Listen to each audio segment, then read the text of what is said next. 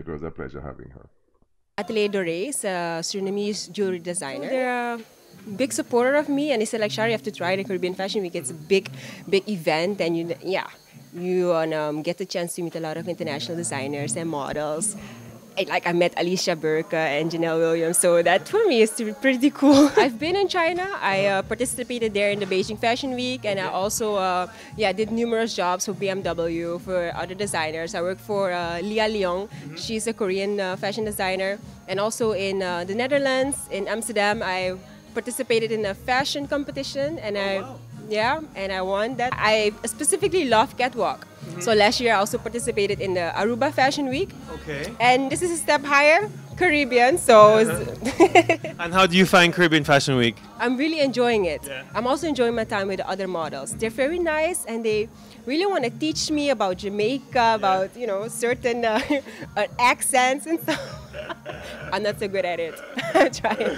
But tell me now, what is the one thing that you will take away from Caribbean Fashion Week when you go back to Suriname? You say, you know what, I walked Caribbean Fashion Week and. Just the way actually the models handle themselves. Mm-hmm. Yeah. yeah, you learn from others. Mm-hmm. So that, and also um, the way the designers interact with the models. Mm-hmm. I love it. You know, they're very respectful and they're really like, um, you just ask them like how to walk and different stuff. And actually the difference that I find that um, in the Caribbean Fashion Week, you really have to um, show more.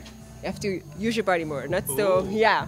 So it's a you you realize it's a different vibe. But in Suriname, Suriname, it's it's Central America.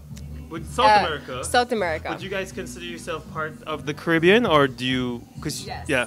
So Suriname is uh, in South America, okay. but it's also part of the Caribbean, right. together with Guyana. Mm-hmm. Guyana, Suriname, both in South America. So yeah, so culturally, we are more related okay. to the Caribbean. Okay, sitting down with us. Is there is there anything that you'd like to tell uh, the people of Jamaica that uh, that you're enjoying so much about us? You know what? Um, surprisingly, I'm really enjoying myself because it's easy to connect. I kind of feel like it's home. The only difference is that you gotta speak another language because mm-hmm. back home we speak Dutch. So here I speak English. But uh, it's very easy to relate to the people. Uh, when I was sitting in, my, in the plane, I realized that this is a dream come true. Oh, because, yeah, yeah. years ago, I was like, I gotta go to Jamaica. Uh-huh. Jamaica seems uh-huh. so cool. I gotta go there. Don't go anywhere. More CFW right after this.